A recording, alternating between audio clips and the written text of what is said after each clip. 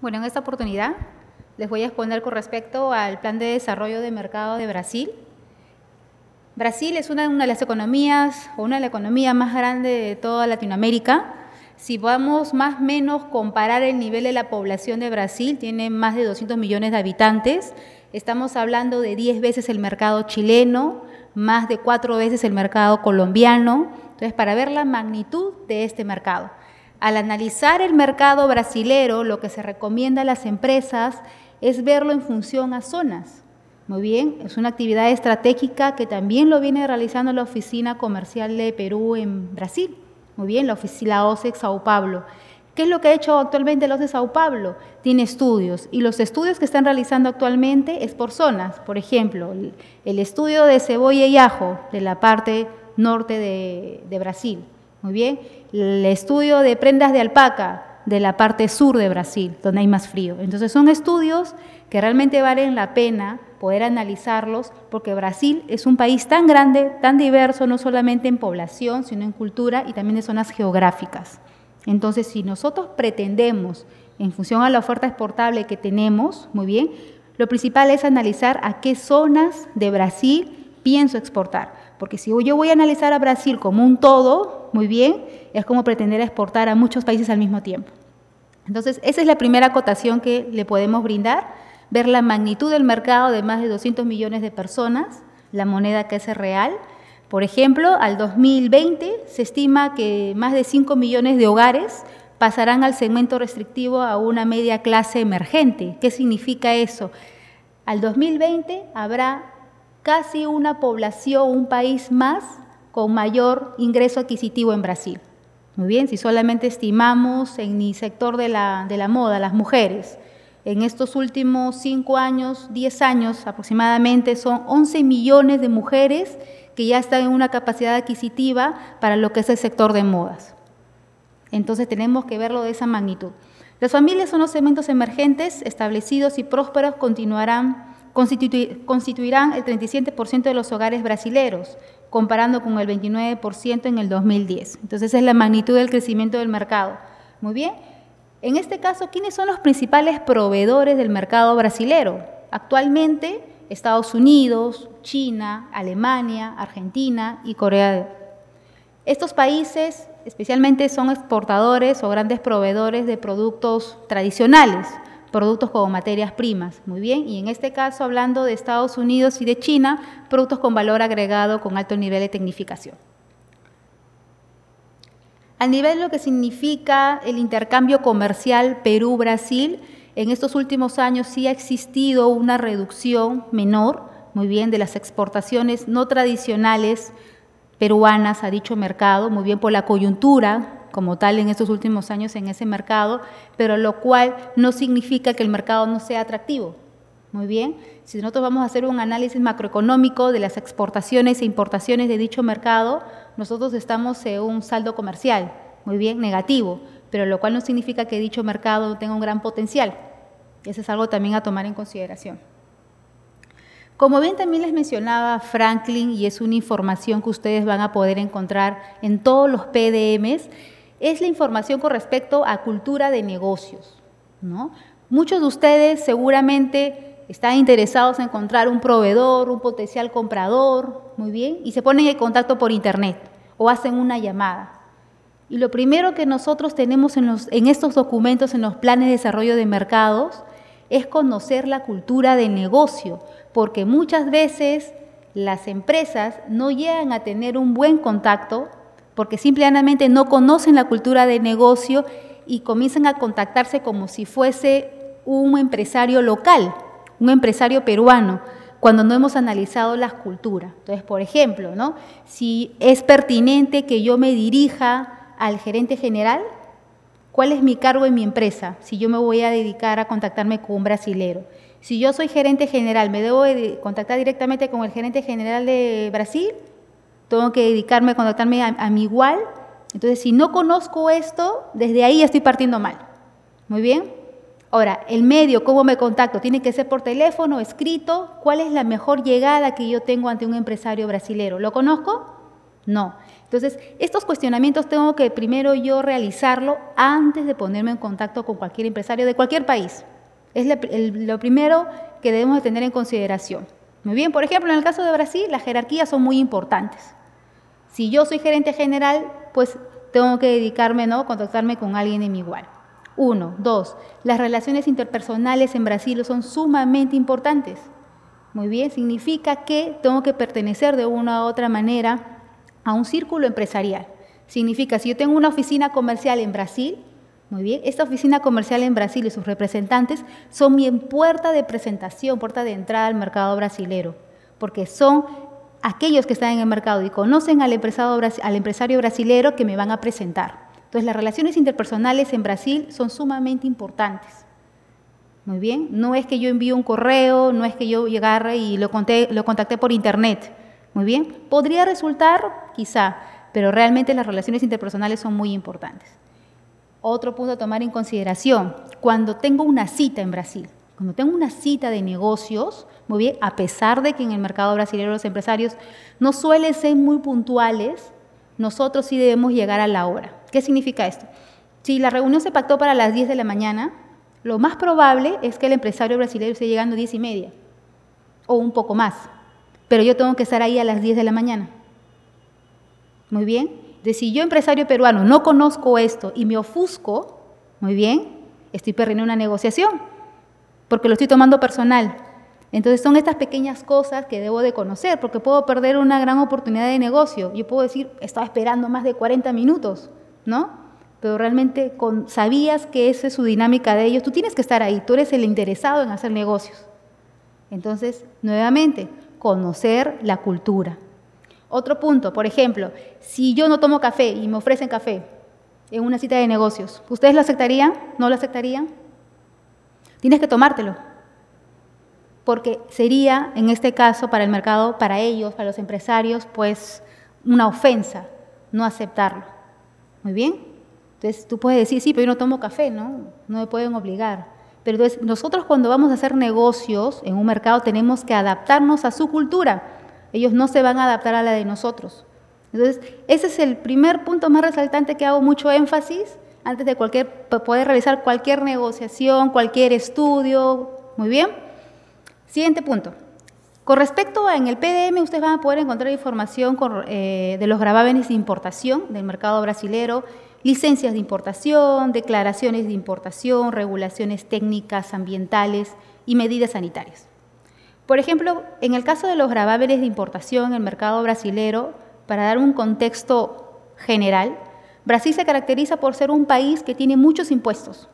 Muy bien, no solamente tienen el impuesto al valoren, el impuesto de la municipalidad, tienen como cuatro o cinco impuestos, hasta impuestos regionales. Entonces, si yo tengo la aventura de poder exportar al mercado brasilero, más o menos tengo que pensar que estoy pagando un 35%, cerca 40% más en impuestos. Si yo no cotizo bien todos estos impuestos para ingresar al mercado brasilero, realmente yo estoy asumiendo un alto costo. Entonces, todos estos impuestos ustedes lo pueden encontrar ya a nivel de detalle en este estudio, pero más o menos ustedes del precio que ustedes están pactando tienen que considerar todos estos costos adicionales. Muy bien, muchos se pueden preguntar y también me han hecho el siguiente cuestionamiento, pero Patricia, si yo exporto, yo exporto en FOB, ¿no?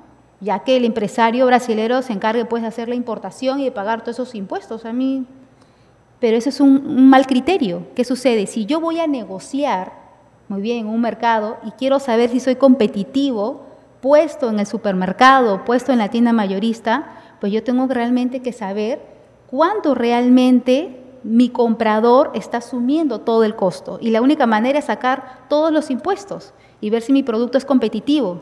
Por ejemplo, yo entro a la página web, muy bien, exporto alimentos, entro a la página web de CAC, que es un mercado mayorista en Brasil, es el más grande de toda Latinoamérica. Ahí están todos los mayoristas y, mi potencial comprador. Y van a aparecer la lista de todos los precios de los productos en la semana o en el día. Pero obviamente la lista de precios que ustedes van a poder observar ahí son precios de empresas que ya han pagado todos los impuestos. Yo no me puedo comparar mi exportación, mi precio acá en Lima, muy bien, considerando algunos costos de exportación FOB, y compararlo con lo que yo estoy viendo precio mayorista en el mercado de Brasil, que he visto que existen muchos errores al momento de cotizar. Muy bien.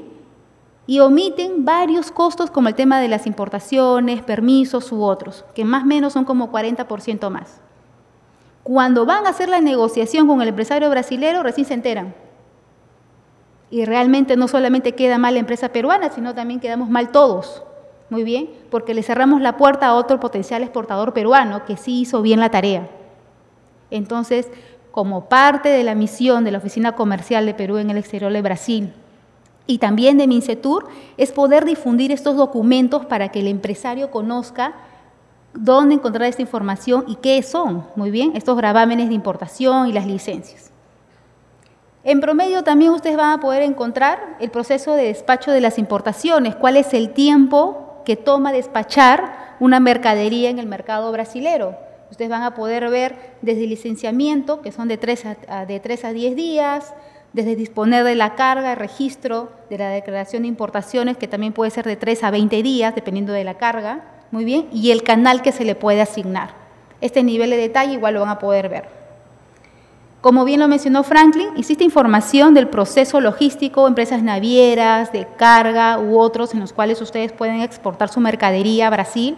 Lo pueden encontrar o en rutas marítimas o aéreas y específicamente en transporte terrestre de algunas empresas que brindan transporte terrestre por la parte sur de Perú, lo van a poder encontrar en la página web. Aquellas empresas que tienen permiso para exportar y pasar de Perú a Brasil, porque hay que tener permiso, la empresa de carga tiene que tener permiso para exportar de Perú a Brasil. Si yo envío mi carga a una empresa que no tiene permiso, me van a cobrar mucho más porque van a tener que sacar mi carga y poder acondicionar en otro, en otro camión. Muy bien. Pasando esta parte general, vamos a hablar con respecto al sector de alimentos y bebidas en Brasil. El sector de alimentos y bebidas en Brasil, eh, a nivel general, está conformado por los importadores o mayoristas, cadenas de autoservicios, tiendas de conveniencia y tiendas especializadas. Dentro de los importadores, los principales, estamos hablando de los mercados municipales. No son los mercados municipales que tenemos acá. Los mercados municipales en Brasil son mercados bien organizados, también encuentran ahí a grandes importadores y grandes empresas, compañías de depósito y almacén general, por ejemplo, dentro de toda Latinoamérica existe una empresa de almacén general que se encuentra en Sao Paulo, que es la más grande, y ahí se encuentran los principales importadores. ¿no? El CEACEG. Aquí están los principales importadores a los cuales nuestros exportadores peruanos exportan. Acá están nuestros clientes en el CEAGENS. Compañía de Depósitos y Almacén General de Sao Paulo. Muy bien, entonces, ¿qué sucede? Esta compañía de depósitos y almacén general de Sao Paulo es una empresa pública, muy bien. A diferencia, por ejemplo, de los centros estadudales y abastecimientos de alimento, el SEASA. SEASA tiene una administración pública-privada. Muy bien, igual en el SEASA ustedes van a poder encontrar importadores empresas que ya están localizadas, existe toda una logística dentro del SEASA, pero el más grande es en el SEAGENT, muy bien, que es Sao Paulo, que ellos hacen la distribución por toda la parte sur, sureste de Brasil, que es donde está la mayor cantidad de la población brasilera. Ahora, muchas empresas eh, comienzan a cuestionar, dicen ya, si la principal empresa de almacenamiento y recepción de productos se encuentra en Sao Paulo, entonces yo debo de exportar a Sao Paulo. Esa es mi puerta de ingreso a Brasil. Muy bien, y muchas empresas hacen esfuerzos muy grandes para poder exportar directamente a Sao Paulo. Lo cual es válido, pero no significa que sea lo único. Muchas veces omitimos que podemos exportar a Acre, a Rondón y a Mato Grosso, que juntando solamente esas tres zonas hacen como 20 millones de población, un Chile, y el nivel adquisitivo también es alto. ¿Sí? Pero ¿qué sucede? A diferencia de Sao Paulo, que sí tienen una cultura de importación, en la zona de frontera no mucho. Entonces, si yo soy un empresario que yo pienso exportar a Acre, Rondonia, Mato Grosso, pues tengo que hacer bien mi tarea de cotizar DDP, si no hago bien mi tarea de cotizar DDP en la zona de frontera donde el mercado existe una alta demanda y las empresas peruanas que realmente han cotizado bien han ingresado a ese mercado, muy bien. Entonces son dos, son dos públicos objetivos diferentes. Sao Paulo tiene una cultura de importación, maneja muy bien los costos, cotizaciones, muy bien, y hacen importaciones FOB usualmente, muy bien. En la zona de frontera, Acre, Rondón y Mato Grosso, estamos hablando solamente de esos tres como ejemplo, 20 millones de personas. Alta capacidad adquisitiva, pero no hay una cultura de importación, porque usualmente de Sao Paulo les llega a ellos. Entonces, el empresario peruano que les ofrece a ellos en DDP, muy bien, toda una logística completa, se involucra en dejar el producto en el supermercado, realmente tiene éxito. Porque lo que espera el, dueño del supermercado en la zona de frontera es que me llegue mi producto. Muy bien, porque están acostumbrados a adquirir el producto desde Sao Paulo, desde la zona de ingreso. Entonces son estas peculiaridades que debe de conocer el empresario peruano. Muy bien, avanzando. Las cadenas de autoservicio, supermercados. Muchas de estas cadenas de autoservicio, supermercados ya se dedican a hacer la importación directa, similar a Perú, muy similar. Cada vez son más los supermercados que reducen la cadena logística y se dedican a hacer las importaciones directamente. Es una manera también de optimizar costos. Tiendas de conveniencia. Dentro de las tiendas de conveniencia, ¿qué se les denomina? A lo menos en Sao Paulo existen tiendas de conveniencia que se dedican a comercializar, por ejemplo, se les llama la zona cerealista Existe una zona en Sao Paulo, porque es una zona específica en la cual se venden cereales, la quinoa, ¿no? el amaranto u otros productos de cereales, y se les denomina de esa manera y se les dice tiendas de conveniencia. Tiendas especializadas, también ustedes lo van a poder encontrar específicamente en la parte sur de Brasil, en la parte norte, noreste, son muy pocas. Dentro de este contexto de, los canales de distribución, pasamos a explicar los principales grupos. Dentro de los principales grupos, como ya les mencioné, se encuentra Seagens, que es un almacén, es una empresa pública, muy bien, con empresas privadas que comercializan los grandes productos mayoristas acá. La zona cerealista, que es una zona, como les comenté, de tiendas de conveniencia. El grupo Pao de Azúcar. Ese es un grupo muy grande, muy bien, que, tiene, que está en casi en, todos los países, perdón, en todas las zonas de, Sao Paulo y también a nivel nacional, pero tiene una, una, peculiaridad. El grupo Pau de Azúcar sí maneja marcas blancas con mucha fuerza. ¿Qué significa eso? De que ellos, aparte de manejar marcas blancas, ellos tienen empresas en Brasil que se dedican a producir ciertos productos para ellos, muy bien, y con la marca del supermercado, muy bien, ellos lo comercializan. Entonces, si yo estoy interesado en poder colocar mis productos en tipo estos grupos grandes como Pau de Azúcar, debo de conocer cuáles son estas empresas que producen para estos grandes supermercados o grandes grupos. Muy bien, y poder ingresar a su cadena de valor. A ver, si yo soy una empresa que produce ajos, produce quinoa, produce aceitunas, muy bien, y estoy interesado de que mi producto se venda, porque ahora son no solamente exportar aceitunas, las aceitunas ahora están dentro de un contenido de otros subproductos, muy bien, y al final te dan la conserva. Entonces mi aceituna llega a ser un 30% del producto final la conserva, que tiene pimiento, que tiene otras especies, muy bien, y otras cosas más. Entonces, finalmente Ustedes tienen que ser conscientes de identificar quién es la empresa eh, que provee estos productos a la empresa Pau de Azúcar. ¿Dónde lo encuentro? Ustedes también lo van a poder encontrar en este estudio del PDM Brasil. Ahí se encuentran identificadas las principales empresas productoras. Muy bien. No van a encontrar ustedes en este estudio al detalle el nombre o el contacto de, la empresa, pero sí van a encontrar su página web.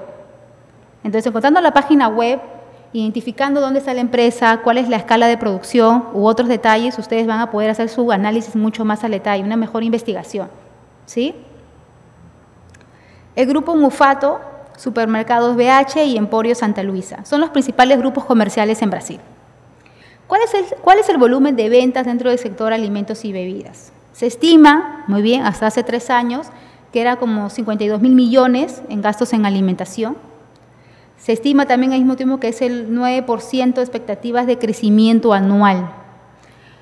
Puede tener un 9% de crecimiento de expectativa anual, sin embargo, por ejemplo, en el caso ya voy a pasar a exponer los orgánicos, de un año a otro el nivel de crecimiento es de 50%. Es muy grande, ¿no? sí, es muy grande, pero ¿qué sucede? También hay una cultura. A nivel de alimentos y bebidas, si podemos, hicieron una encuesta de varios países y Brasil se caracterizó por tener una población que el 79% de brasileros se preocupa por el cuidado de su salud y de su alimentación, seguido de Reino Unido y seguido de Estados Unidos. Entonces, realmente fue eh, muy importante tener estas cifras porque te da a entender que si tu producto tiene un valor agregado, tiene calidad, pues el mercado brasilero te lo va a pagar. Segmento de mercado, eso es importante conocerlo. En la parte sureste de Brasil está el 48% de los consumidores, como veníamos conversando. En la parte noreste de Brasil está el 24% y el norte de Brasil el 16%. Entonces, casi todas las fuerzas de las empresas para poder realizar investigación, mercado, ingresar al producto, se va solo a la parte sureste de Brasil. Y si no ingresan por Sao Paulo o por una de las zonas del sureste de Brasil, las empresas ya realmente no siguen investigando más, cuando realmente el potencial hay otras regiones del mercado que son muy interesantes. Muy bien. Principales productos exportados peruanos a nivel de lo que es agroindustria, el mercado brasilero, solo en el 2017, para poder dar unas cifras. Las aceitunas en conservas, muy bien. Le sigue el orégano, la tara y los espárragos y tomates. De estos tres primeros productos es una tendencia que se viene dando casi en los últimos 5 o 7 años. Más menos uno adelante detrás de otro, pero aceituna siempre primero y el orégano y la tara. Muy bien. El sector agroindustrial, dentro de los estados que la oficina comercial también viene impulsando, está Acre y Rondonia, donde existen productos a exportar, por ejemplo, el sacha inchi, aceite de sacha inchi, aceite en salmuera, ajo deshidratado, barras energéticas, conservas, cremas de pisco, cremas de maíz. Muy bien. En el caso de Amazonas, barras energéticas, crema de pisco, granola, kiwi chapop y licores. Es un estudio que se ha realizado y en el cual estamos viendo otras zonas de Brasil que el empresario peruano también debería de impulsar sus exportaciones. Y el sector agroindustrial, estamos viendo otros estados como Acre y Rondonia, por ejemplo, aceite de pescado azul, caballa, congelado, conservas de mariscos, harina de pescado, jurel en conservas. Entonces vemos de que el mercado de Brasil en otras zonas de frontera es muy importante. Adicionalmente a esto, eh, justo también es algo que quería mencionar, es una publicación de una entrevista que dieron en AGAP el año pasado, y uno de los mercados claves que tiene la Asociación de Agroexportadores Peruanos es el mercado de Brasil, ¿no? en los cuales ellos también están solicitando poder impulsar el acceso, porque todavía no hay el acceso, de la granada, la tuna, la chirimoya y el capsicum. Entonces estos cuatro productos tienen también potencial en el mercado brasileño, existe una alta demanda, tenemos potencial y se está trabajando para poder tener el acceso a dichos mercados.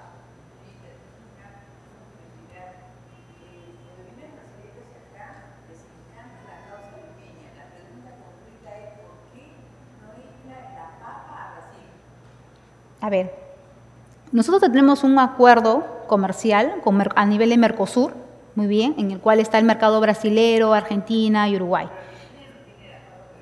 Pero le comento, para contextualizar, para poder nosotros ingresar a un mercado no solamente basta con un tratado de libre comercio, lo cual también te apoya, te beneficia porque la parte de lo que es medida sanitaria se agiliza, muy bien, pero hay que pedir producto por producto acceso al mercado. ¿sí? Igual tenemos que tener un permiso para todo el año. Hubo una época, muy bien, donde hubo una inclemencia en Brasil, en la parte de frontera, donde ingresó la papa, el tomate y otros productos que no podían entrar de zonas específicas, por ejemplo, el tomate es de Pachacamac. La papa no, no tenemos acceso, pero por un tema de inclemencia en Brasil, se llegó a exportar varios productos, pero solamente nos dieron permiso por una ventana, por una época específica. Lo cual no significa que este producto que se ha visto como otros, no solamente la papa, oportunidad y que el Estado peruano también está trabajando para su posterior ingreso al mercado brasilero. De haber demanda, hay demanda. Pero como lo vuelvo a repetir, lamentablemente, ¿no? Por un lado, eh, existen empresas que necesitan que estos productos ingresen, pero al otro, por otro aspecto, se tiene que priorizar productos que puedan tener mayor potencial, ¿no? Entonces, actualmente, por ejemplo, se está viendo la entrada de la granada, que es un producto que realmente es, es un boom ahorita y que nosotros podemos proveer y quien provee el mercado brasileño es Colombia. Muy bien, y nosotros también podemos proveer y es, un, es una gran oportunidad. Por ejemplo, lo que nosotros ahora estamos exportando y recién ha tenido acceso es la granadilla. La granadilla es un producto que a partir del año pasado ya tenemos acceso a dicho mercado, mercado brasilero, y ha tenido una gran aceptación. ¿no? Se pensaba que iba a tener una aceptación mediana, pero tiene una gran aceptación la granadilla. Pero nuevamente, son a nichos de mercados muy específicos. Entonces, pasamos a explicar los alimentos orgánicos. Con respecto a los alimentos orgánicos, eh, lo que sí quería hacer énfasis es que los alimentos orgánicos en Brasil, en promedio, tiene una demanda del 2 al 3% del todo el mercado. Ustedes podrán decir muy poco, 2-3%, pero ese 2-3% de todo el mercado se estima que actualmente para el 2018 podría llegar a 4%, son cifras de hace 2-3 años. Muy bien. Dentro de los alimentos orgánicos, Brasil se caracteriza a nivel mundial por ser uno de los principales productores, valga la redundancia, de productos orgánicos. Pero ¿qué sucede? La accesibilidad de las zonas que producen productos orgánicos realmente es muy precaria. Entonces existe un gran potencial debido, como les comenté, el crecimiento de la demanda de productos orgánicos en el mercado brasilero.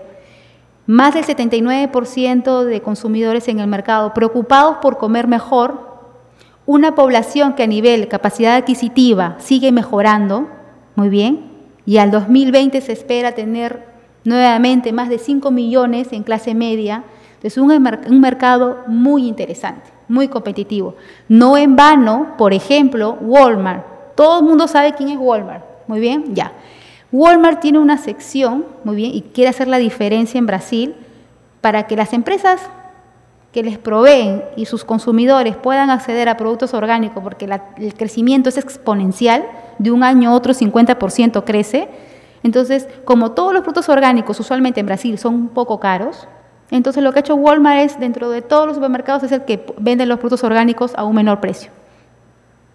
Muy bien, vende a un menor precio. Entonces, ¿cómo hace para vender a un menor precio? Walmart en este caso tiene proveedores en el mercado, muy bien, que los trata de fidelizar. En este caso, proveedores son empresas brasileras las que producen, pero viene el producto de Ecuador, de, viene el producto de Colombia y de otras zonas de Latinoamérica. O sea, a ver mercado hay. A ver, fabricantes o comercializadores, agroindustrias, procesadores, sí, existe el nivel de procesamiento o empresas dedicadas a los productos orgánicos ha crecido, se les ha dado prioridad en el mercado brasileño por lo que les he comentado. Dentro de los principales grupos existe, por ejemplo, Mundo Verde. Mundo Verde es una empresa que tiene más de cerca, ahora debe estar cerca de sus 400 locales, 330 y tantos locales, más o menos hace tres años, tenía de productos orgánicos. Es una empresa muy grande, pero es una empresa muy especializada de productos orgánicos. Entonces, si las, em, ustedes están interesados en exportar productos orgánicos, pueden averiguar con respecto al Mundo Verde. Es una empresa que tiene dos ramas. Una es la comercialización, pero también produce. Y produce, pero también terciariza la producción. Muy bien. El grupo Pau de Azúcar es una empresa que se dedica solamente a la comercialización, como les comenté, tanto de alimentos y procesados. Ellos no producen, comercializan, manejan marcas. El grupo también vende electrodomésticos, vende de todo. Es un grupo muy grande. Vía Verde, Yasmín, Maiterra y Vital, Natus. Muy bien. Volumen de ventas. El volumen de ventas se estima que actualmente esta es una cifra de hace dos años, no he cifras más actualizadas, pero se estima que ya esté más de 700 millones. Muy bien. Un nivel de crecimiento del 98% entre el año 2010 y el 2014. Fíjense estas cifras del año 2014 el nivel de crecimiento era casi 100%. Ahora debe estar 110%. Muy bien. Cementos de mercado. 80% de estos productos orgánicos se comercializan en supermercados. Mundo Verde, Grupo Pau de Azúcar. El 20% otros minoristas o fabricantes. Muy bien. Los principales mercados de consumo se posicionan en la región sudeste y sur, sobresaliendo Sao Paulo. Es cierto, la gran cantidad de la población, el 48%, ¿dónde se encuentra? De Brasil, en la parte sur-sureste. es un público más sofisticado y es ahí donde el nivel de crecimiento de la demanda orgánica es exponencial.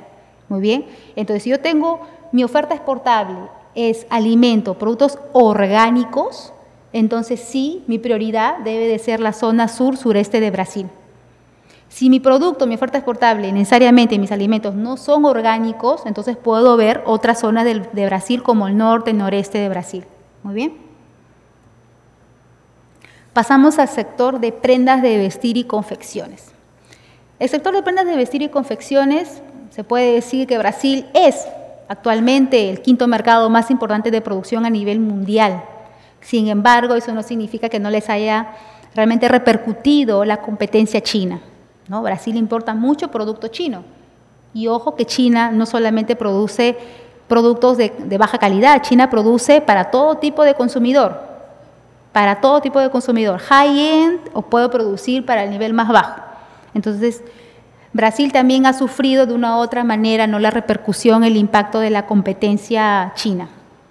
Pero ustedes se preguntarán, ¿y dónde está el mercado para las empresas peruanas si me estás diciendo que el mercado chino no les está atacando? Lo que se ha visto, por ejemplo, es en este caso se exporta una gran cantidad de polos, muy bien, existe una zona que se está, que se está impulsando en la zona de, Sao Paulo para que un grupo consorcio de empresas peruanas puedan también ofrecer la oferta exportable del algodón peruano. Muy bien, esto lo viene encabezando, liderando la Oficina Comercial de Perú en Brasil pero son productos muy específicos dentro de la línea de la moda. Muy bien. El otro adicional, que también existe un estudio dentro del PDM Brasil, está exportar prendas de alpaca para la zona sur de Brasil. Muy bien, es la zona donde hace mucho más frío. Entonces, para la zona sur de Brasil también existe el potencial de exportar prendas de alpaca.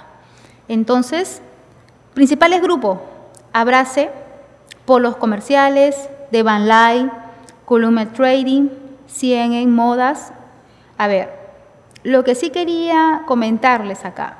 En Brasil, específicamente Sao Paulo, existe dos zonas, muy bien, que por ejemplo una de ellas se denomina el barrio Brás, donde las empresas peruanas, como otras empresas, se, se han encontrado localizadas. Es, es un lugar en el cual se va a encontrar productos para la clase media-baja, si queremos denominar. Muy bien. Se encuentra todo tipo de productos. Existe mucha oferta también china en Barrio Brás. Pero para aquellas empresas que estén interesadas, muy bien, en poder incursionar en el mercado brasilero, poder encontrar un centro logístico de almacenaje u otros, puede ser una opción interesante. Volumen de ventas, actualmente se tiene como 47 mil millones en ventas de prendas de vestir y un incremento actual, muy bien, de más del 7%. ¿Por qué? ¿Por qué actualmente el sector de modas de Brasil viene creciendo tan rápido? La demanda, porque se basa en la demanda o el consumo, como les comenté hace un momento, de la mujer. Hay más mujeres que están ingresando muy bien dentro del ámbito laboral. Usualmente se estima que una mujer en Brasil compra una o dos prendas al mes. Su gasto mínimo, mínimo mensual, va entre los 70 dólares. Entonces estamos hablando de un sector muy fuerte una, demanda realmente exponencial. ¿Bien? Dentro de los productos que se cuenta o que se ha identificado oportunidades para el mercado de Brasil, y ustedes también lo van a poder identificar en, en la sección de oportunidades del PDM, está la quinoa. Todo el mundo dirá, sí, ya la quinoa tiene oportunidades en Brasil y en otros mercados, lo cual es cierto, pero hay algo muy interesante en acotar con respecto a la quinoa. ¿no? A pesar de que Brasil es un productor de quinoa, muy bien. La quinoa peruana, muy bien, hasta el momento, a pesar de todas las, las modificaciones y tratamientos que se trata de hacer para adaptarlo a diferentes países, a diferentes suelos, muy bien, la quinoa peruana realmente tiene unos, un alto diferencial a nivel de lo que es el consumo humano, porque también en este país se produce la quinoa para otros usos, en este caso para los animales también. Muy bien. La quinoa peruana sí tiene un gran valor agregado, tiene un precio competitivo en el mercado, muy bien. Los principales proveedores de quinoa de Brasil son Perú y Bolivia, pero actualmente nosotros somos los principales proveedores. La tendencia del mercado, la preocupación por la alimentación y la salud, muy bien. Cada vez la quinoa es más empleada en la fabricación de productos con valor agregado, cereales, galletas, barras energéticas. Entonces, si yo produzco quinoa en el Perú, tengo que identificar quiénes son las empresas brasileras que hacen barras energéticas, que hacen cereales, que hacen jugos. Ahora, ¿cómo yo identifico más o menos cuáles son estas empresas? Ustedes, sentando también a la sección de oportunidades del PDM, van a identificar algunas empresas que estamos colocando ahí, que son productoras, que les va a ayudar para hacer su trabajo de investigación. Muy bien. ¿Cuáles son los factores competitivos que tiene la oferta exportable peruana de quinoa? Es considerado un superfood muy bien. La quinoa peruana presenta una calidad superior en tamaño, color, limpieza. Muy bien. Características que, hasta el momento no llegan a tener otros productos similares o parecidos. En los próximos años el Perú seguirá consolidándose como el principal proveedor de quinoa en Brasil. Muy bien. ¿Cuáles son o dónde están los lugares que se expende la quinoa? Son similares a los que se produce o se comercializan, perdón, alimentos orgánicos pero adicionalmente tenemos el, mundo de Aquinoa, muy bien, que es una empresa que se dedica a comercializar quinoa como tal y todos los subproductos de la quinoa. Es una empresa que produce y también adquiere los productos ya producidos por otras empresas que le pueden proveer. Entonces es una empresa bien interesante para los que son, en este caso, productores de quinoa. Mundo, mundo de Quinoa es una empresa que siempre demanda quinoa como tal, porque es su principal producto. Brasbol y Yasmín son empresas que también comercializan todos los productos que están relacionados con la industria andina.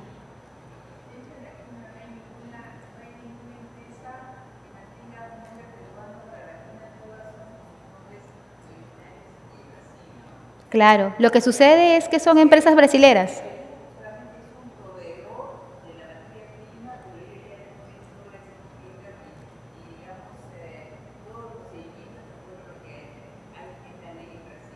Lo que nosotros tenemos que ver, y es una buena pregunta la que usted hace, nosotros somos proveedores del grano, ¿no? Eh, dentro de toda la escala de la producción que tenemos, puedes tener el grano, puedes tener la hojuela o puedes tener un producto semiprocesado ya para que ellos solamente lo agreguen a un producto final. Entonces, la pregunta está muy bien. La empresa peruana tiene que analizar dentro de este mundo de Aquino u otras empresas que se dedican a comercializar quinoa o productos basados en la quinoa específicamente, darles un valor agregado. Es, muy cierto que ellos pueden vender barras de cereal y son muy pocas las empresas peruanas que exportan la quinoa en hojuela acondicionada para barras. Son contadas. Y son esas empresas las que le sacan el margen. Porque solamente esta quinoa en hojuelas acondicionada para barras energéticas, llega el producto y entra el proceso. Ya, eso o ese es el paso en el cual las empresas peruanas tienen que dar ese salto. El ser proveedores de insumo, muy bien, o materia prima, no significa que siempre vas a estar en el último eslabón de la cadena. Muy bien. Hay que ver en qué parte de la cadena de valor de producción en el mercado de destino podemos ingresar. Si estamos hablando de quinoa, todo el mundo se le pasó por la cabeza la quinoa, ¿no? En bolitas, en el estado más primario. ¿O me equivoco? Todos. Pero tenemos, cuando se habla, se habla de la oportunidad, cuando hablamos de la sección de oportunidades, no estamos hablando de eso, estamos hablando de que la empresa peruana tiene que identificar en toda la cadena de valor en ese país, en qué parte de mi producto lo puedo dar el mayor valor agregado para que se acondicione esa industria. Si hablo de quinoa, ya, estoy interesada, he identificado cuáles son las empresas en Brasil que producen barras energéticas. Ya, excelente. De esas empresas en Brasil que producen barras energéticas, ¿cuántas necesita quinoa, quinoa en hojuelas adaptadas para ese producto? Pueden haber dos, tres, pero realmente he hecho el trabajo de saber cuánto cuesta ese, darle ese valor agregado acá y realmente si cuánta demanda puede tener en el mercado, muy pocos. Entonces, lo que tratamos de impulsar con estos PDMs es que las empresas peruanas ingresen a la cadena de valor, a la cadena de valor de los mercados destino, dando, no significa vendiendo estos empaques como producto final, si puede ser excelente, pero sí ingresando a la cadena de valor, no quedándonos en la parte más básica o primaria.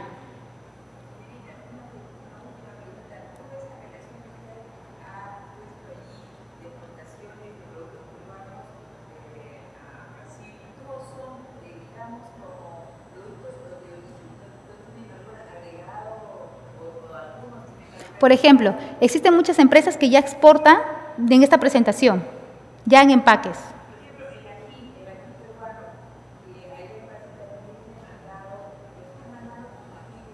Sí, no, no me refiero a que todas las empresas hagan ese tipo de exportación, pero son pocas las que le dan un valor agregado final en empaque, son muy pocas, muy pocas, ¿no? Aquellas que no tienen volumen, por decirlo de alguna manera. Entonces, a lo que yo voy, ¿existen empresas peruanas que exportan en ese tipo de presentación? Sí, existen empresas peruanas, empresas bolivianas, pero también existen empresas peruanas que manejan altos volúmenes, grandes volúmenes, pero también le pueden dar este salto. La otra oportunidad que se ha visto en el mercado brasilero son los espárragos en conservas, en las diferentes presentaciones. Muy bien. Está la uva, de la misma manera. En la uva tiene una, peculiaridad. En la uva se está viendo la oportunidad, muy bien, de poder tener quizás una cosecha temprana. Si en la uva se está viendo el potencial de que si existe la cosecha temprana de la uva, puede tener mayor demanda la oferta exportable. Muy bien. Otro producto también es la granada, a pesar de que la granada, lo vuelvo a repetir, todavía no tiene acceso al mercado, comparación de la granadilla o la chía que ya ingresan ahora en estos momentos, la granada es un producto potencial que también ha sido identificado dentro del PDM. Otros productos que también son interesantes son productos para la industria de cosmética. La industria cosmética demanda productos, por ejemplo, aceites. Muy bien, los aceites pueden ser desde el aceite de Sachainchi, el aceite de otros de X productos, y la industria cosmética de Brasil demanda productos de aceites y también aceites de productos orgánicos para un producto muy, muy específico, high-end, como nosotros lo llamamos. Entonces, la industria cosmética de Brasil demanda mucha materia prima. Muy bien, pero no es la materia prima de que le vamos a exportar los granos para que ellos hagan el aceite, no. Es exportarle un aceite bajo ciertos estándares, muy bien, y específicamente para la industria cosmética. Eso es lo que se demanda. Existe sí un potencial para poder exportar a Brasil productos ya terminados de cosmética, sí, existe el grupo Belcor que ya se instaló en Brasil, pero exportar un producto final de la industria cosmética es, no digo que sea imposible, pero es un poco difícil en el mercado brasilero, que usualmente está dominado por dos grandes empresas transnacionales de la industria cosmética y el ingreso de Belcor al mercado lo demuestra, ¿no? Belcor es una empresa muy grande, le ha costado ingresar al mercado brasilero porque tiene productos finales. Estamos hablando de grandes empresas. Pero para empresas medianas, peruanas, lo importante de Brasil es que existe un gran potencial para ser nosotros proveedores de los insumos de esta industria, que demanda mucho. ¿Maca? Sí, sí. Dentro del, ya hemos hablado con respecto a las oportunidades, algunas oportunidades que ustedes van a poder encontrar en el PDM Brasil. También hay oportunidades del sector metal mecánica, hay oportunidades en el tema de servicio, muy bien. Ahora pasamos a los productos priorizados, los estudios. En el PDM Brasil ustedes van a poder encontrar estudios de mercado, mucho más específicos, muy bien. Esos estudios se han realizado gracias a la supervisión y los aportes de la Oficina Comercial de Perú en Brasil. Para destacar algunos, algunos estudios, como les comentaba, son específicos por zona. Por ejemplo, el estudio de cebolla y ajo es para Manaos. Muy bien. Por ejemplo, así es. En el caso, por ejemplo, de, ajos. Ajos es un producto altamente demandado por Brasil. El 40%, muy bien, de ajos que se importa es de China. Muy bien. Seguido, sí, el 40% de ajo importado en Brasil es, de China. El otro 20%, si no me equivoco, es de Argentina. Pero a pesar de eso, nosotros exportamos ajo porque el brasilero también existe diferentes calidades de ajo. Muy bien, y sabe diferenciar el mismo. Ahora, también existe la demanda de cebolla. La cebolla igual en Manaus. Muy bien, es un mercado muy interesante la cebolla en la parte, toda la parte norte de Brasil. Eh, la cebolla, de la misma manera o similar al ajo, es un producto altamente demandado. Eh, nosotros más o menos venimos exportando cebolla cerca a medio millón, si no me equivoco. Muy bien, pero igual es un producto que se ha visto que en la zona norte de Brasil es muy importante. Zanahoria y beterraga, región norte de Brasil. A pesar que la zanahoria y la beterraga son productos que se, que se siembran en la parte sureste de Brasil, casi se puede decir todas las regiones de la franja costera del Atlántico, en la parte norte, muy bien, es donde existe la demanda. Existe una gran demanda por la zanahoria y la beterraga. Entonces existe un déficit.